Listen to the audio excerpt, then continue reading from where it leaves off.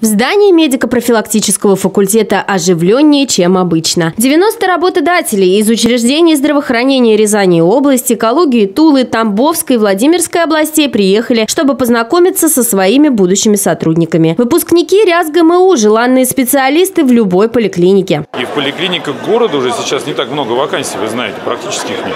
А в районах остаются. Будем работать, но надо понимать, что, конечно, это не только вопрос регионального Минздрава и медуниверситета, и, конечно, вопрос вопросы глав районов, насколько они активно хотят видеть специалистов, создают для них комфортные предложения и определенные преференции. Конечно, молодой специалист желает, э, чтобы его ждали, чтобы ему были рады, и он должен и хочет это видеть.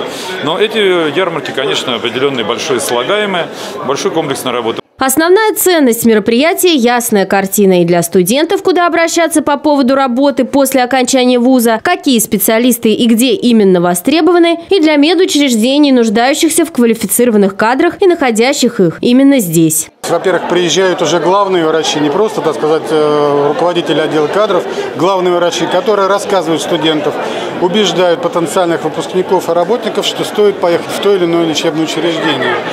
И то, что мы имеем положительный эффект, это однозначно. Мы вот э, в этом году практически уже закрыли первичное звено в городе Рязани. То есть участковая служба заполнена сейчас почти где-то на 95 процентов. Традиция проводить ярмарку вакансий сложилась около пяти лет назад. К настоящему времени в ней принимают участие порядка 90 учреждений здравоохранения. И статистика показывает, что с каждым разом расширяется география. Новые и новые регионы приезжают в Рязань, чтобы найти нужных сотрудников в штат медучреждений. И каждый стремится заинтересовать будущих специалистов, предоставить им наиболее комфортные условия работы и проживания. Ведь качественные специалисты, каких выпускает Рязанский медуниверситет, всюду на вес золота. Мы входим в программу «Земский доктор», то есть наши специалисты молодые, которые к нам приходят, они получают миллион.